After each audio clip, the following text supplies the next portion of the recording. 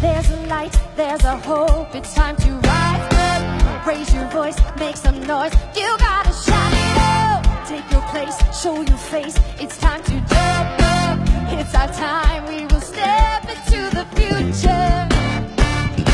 Step into the future. Yes, we will. Step into the future. Oh, yeah. 2007. 10 years ago, secrets were revealed regarding the leader that's in office right now. We are entering a week where that leader is now going to put his feet in the soil of Jerusalem.